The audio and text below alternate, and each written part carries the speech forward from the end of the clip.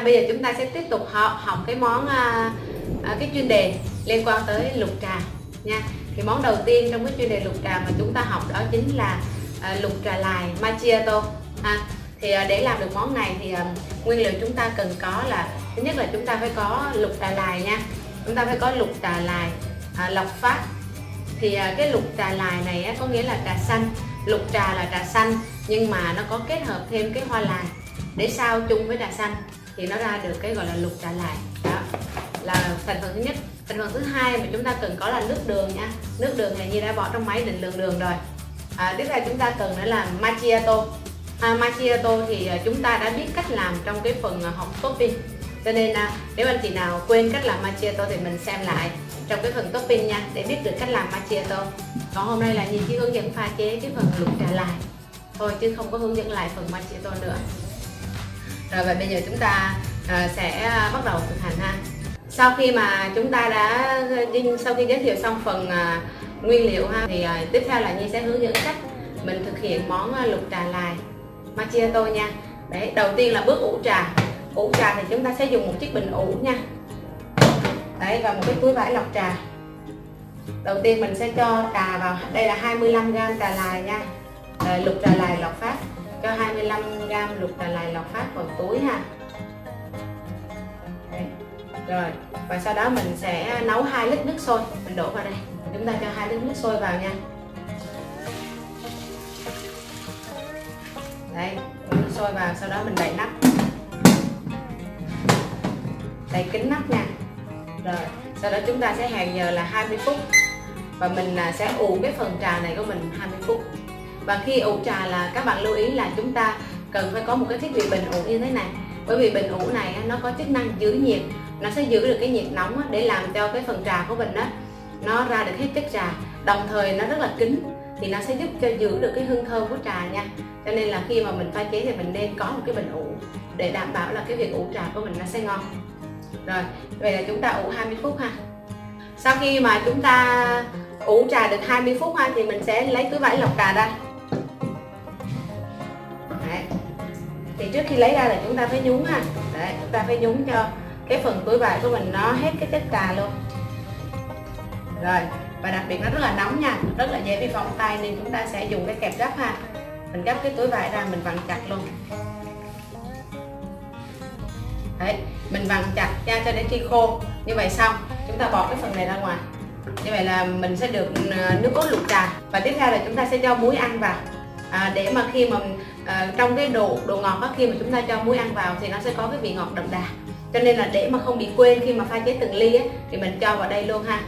Rồi với một lượng trà là hai à, hai lít thì chúng ta sẽ cho một muỗng này muối ăn là 1.25 ml nha.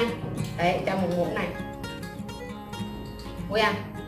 Đấy còn nếu như anh chị nào không có muỗng này thì chúng ta sẽ dùng loại muỗng khuấy nhỏ muỗng khuấy loại nhỏ nha và dùng nửa muỗng cho hai lít nước đấy rồi bây giờ mình khuấy đều lên.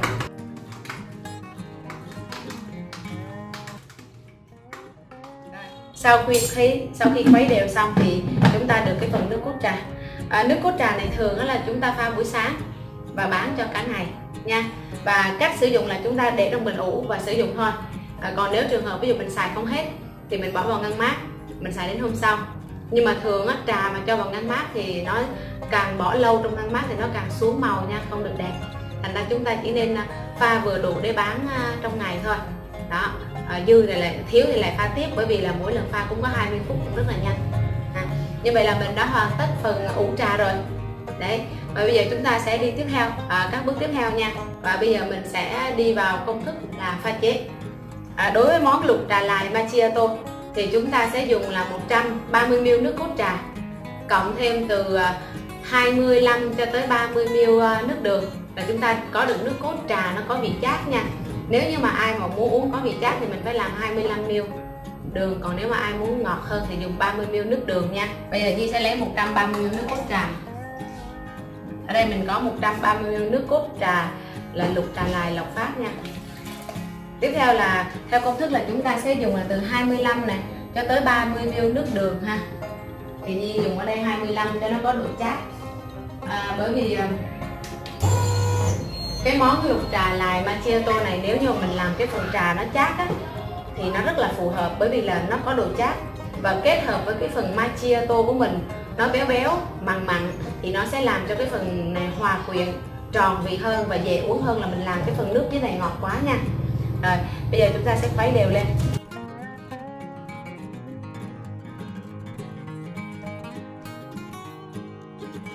Rồi tiếp theo sau khi khuấy đều xong mình cho đá vào nha.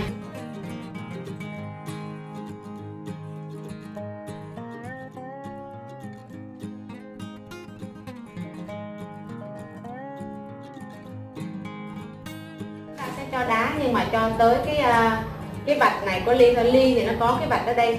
Thì mình cho đá tới bằng ngang vạch này. Và phần à, khoảng trống còn lại thì chúng ta sẽ cho macchiato lên, cho tới khi gần đầy nha. Không được cho đầy quá, bởi vì cho đầy quá chúng ta không dập nắp được.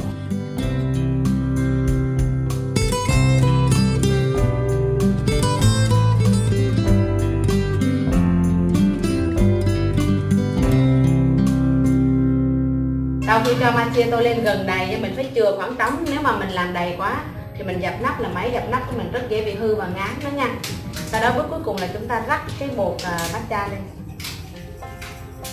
Đấy, thì rất là đẹp bề mặt. Và chúng ta dập nắp ly nha.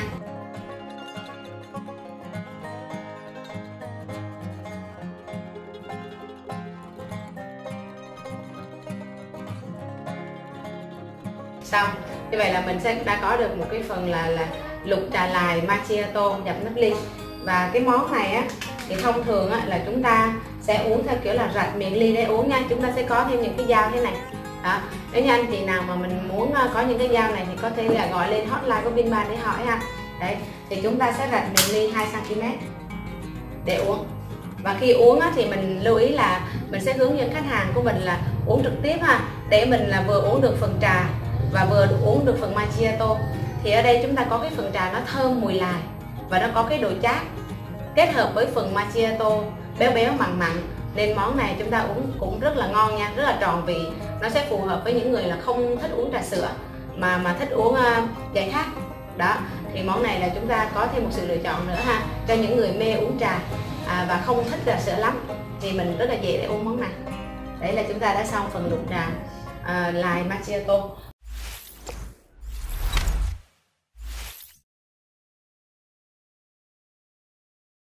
Bây giờ Nhi sẽ làm thêm ờ, lục trà xoài macchiato nha. Lục trà xoài macchiato thì nó gần giống như lục trà chanh dây, Nhưng mà nó chỉ khác chút xíu thôi là khi mà mình dùng lục trà chanh dây mình chỉ dùng mỗi mình mứt thôi nha. Nhưng mà riêng cái lục trà xoài thì chúng ta kết hợp với siro nữa cho nó lên được mùi thơm. Tại vì cái mứt xoài á, là nó không có lên được cái mùi thơm như là cái mứt. Ví dụ như mứt chanh dây nó có mùi thơm rất là đặc trưng, Nó đủ vị ha đủ cái mùi hương thơm nhưng mà nếu mà mình dùng ờ, món luộc trà xoài mình chỉ dùng mỗi mình mứt thì nó không ngon. Nên chúng ta sẽ dùng kết hợp siro và mứt ha. Nó chỉ khác như vậy thôi. Còn cách pha trà đồ mọi thứ là giống nhau hết nha. Bây giờ Nhi sẽ tiến hành làm mình sẽ lấy ờ, 110 ml nước cốt trà nha. Giống công thức luộc trà trên đây luôn nè. Rồi. À, chúng ta sẽ cần là 25 ml mứt đúng không ạ? Chúng ta sẽ cần 25 ml mức hoặc là siro. Vậy bây giờ kết hợp thì chúng ta cũng sẽ kết hợp thành 25 nhưng mà mình sẽ sử dụng là 15 ml mức nha. 15 ml mức xoài. Golden farm. Rồi. À, tiếp theo nữa chúng ta sẽ dùng siro ha. Siro xoài. Siro xoài thì mình sẽ dùng là 10 ml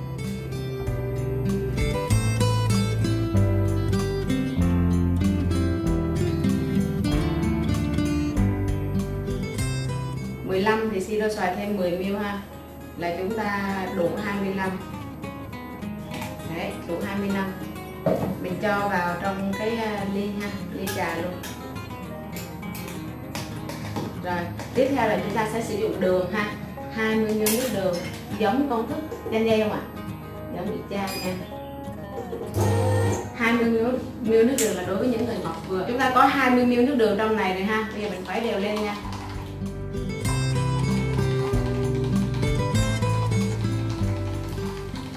Rồi sau đó mình sẽ cho đá vào nha.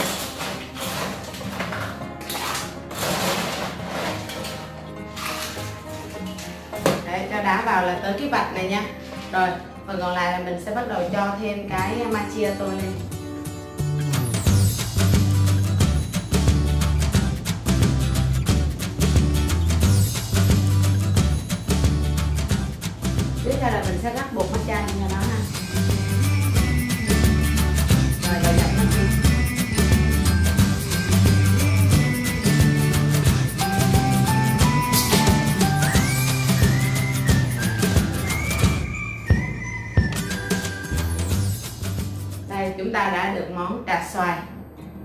Macchiato à, lục trà xoài macchiato nha.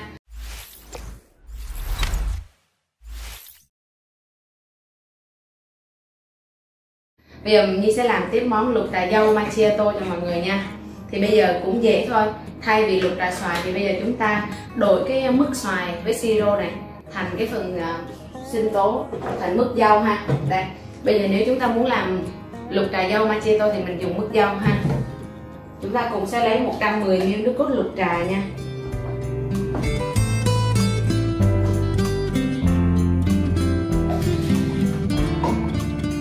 Mình sẽ lấy 25 ml mứt dâu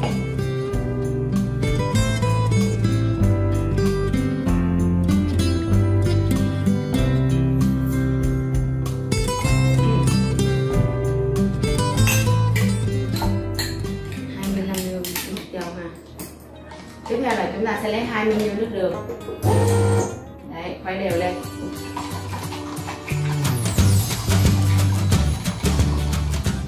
Như vậy là mình đang được món là lục trà dâu ha.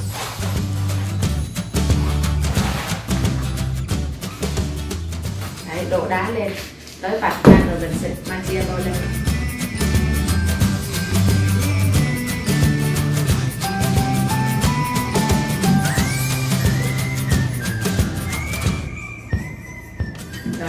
Chúng ta cũng dập nát luôn.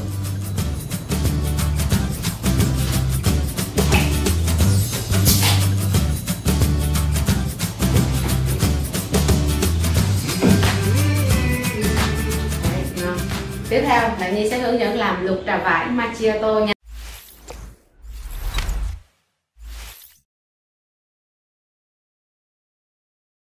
Đây lục trà vải macchiato riêng vải ấy, thì chúng ta sẽ dùng siro đinh phong chứ không dùng mứt. Tại vì uh, trong các cái um, hương vải mà ngon là chỉ có cái này là ngon nhất.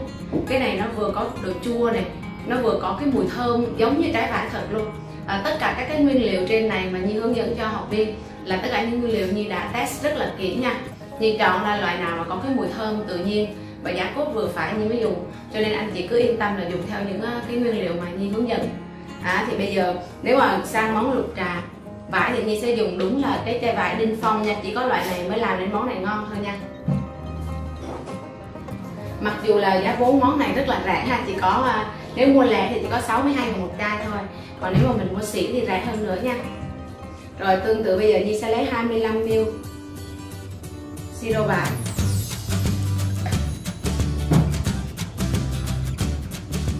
Đấy. tiếp theo là Nhi sẽ lấy 110ml nước cốt lục trà. Rồi, cũng 20ml nước đường giống nha. Rất giống công thức à, rất giống công thức lục trà chanh dây lục trà dâu lục trà xoài. Chỉ khác là mình thay đổi cái mùi hương thôi nha. Vải đều lên. Rất là thơm mùi vải là thơm mùi vải, giống như là trái vải luôn. Cái đá vào. Rồi, sau đó chúng ta xịt cái macchiato lên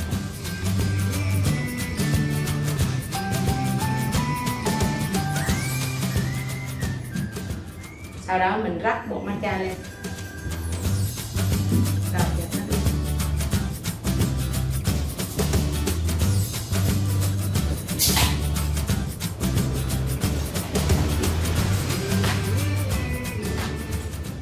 Đấy, là chúng ta có lục trà vải ha.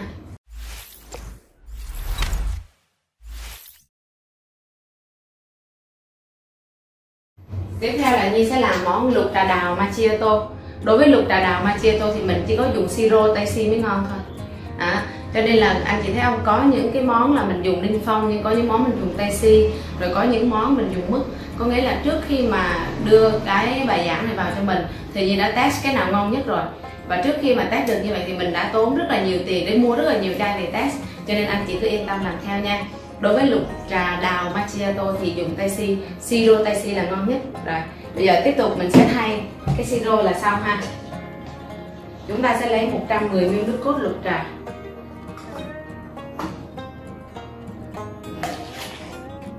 Rồi, siro thì tương tự, siro vải 25ml thì siro đào cũng 25ml ha.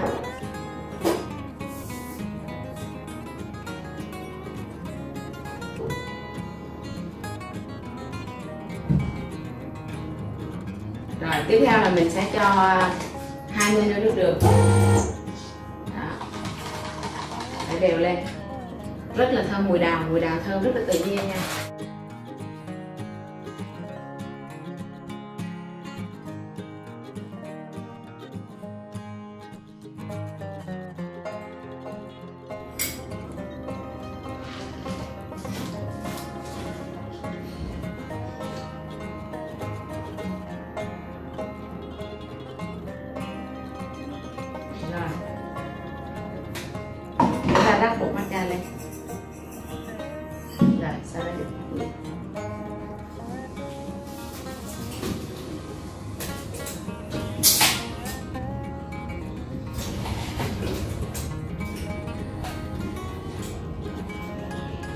Đấy, như vậy là chúng ta đã học được lục trà chanh dây, xoài, dâu, vải và đào.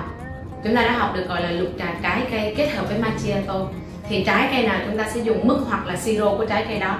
Và như chỉ làm đơn cử là năm mùi thôi là chanh dây, xoài, dâu, đào, vải. Anh chị vẫn có thể làm thêm các cái mùi khác như là việt quất kiwi ha, táo hay là bất cứ mùi nào mình yêu thích tuy nhiên á là để mà nói đến những cái mùi ngon nhất á, thì Nhi khuyên là các thành viên nên làm chanh dây là ngon nhất này. Nha nó ngon nhất nha. Sau đó tới dâu rồi tới vải rồi mới tới xoài và đào. Cho nên là anh chị nên cân nhắc và lựa chọn những cái mức nào mà kết hợp ngon nhất để mình đưa vào menu. À, chúc anh chị học viên sẽ thực hiện thành công. Chuỗi là lục trà hương trái cây kết hợp với macchiato. Và hẹn gặp lại trong các món tiếp theo nha.